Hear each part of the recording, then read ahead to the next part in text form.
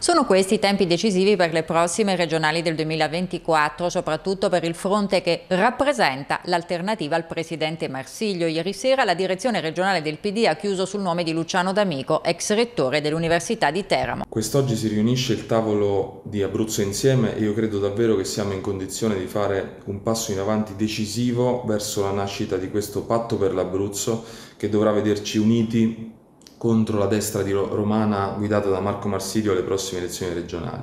La direzione regionale del Partito Democratico di ieri ha espresso profonda gratitudine per il grande lavoro fatto da Silvio Paolucci in queste settimane, che è stato davvero un lavoro di costruzione di questo patto per l'Abruzzo e ha deciso di convergere sulla candidatura di Luciano D'Amico, un abruzzese che conosce e ama questa regione, una personalità forte, autorevole che credo davvero possa rappresentare un'ottima guida per questa alleanza. Fiducioso dunque il segretario del Partito Democratico e forte anche del fatto che è stato recuperato terreno in pochi giorni sulla scelta del candidato. Tocca vedere se il partito di Calenda parteciperà al vertice dopo l'annuncio della pausa di riflessione da parte del deputato Giulio Cesare Sottanelli, leader regionale di Azione. Insomma, ha pesato la mancata scelta di Carlo Costantini come candidato unitario. Cosa accadrà? È difficile dirlo. Per ora c'è la fiducia di una coalizione che crede nel progetto Abruzzo Insieme.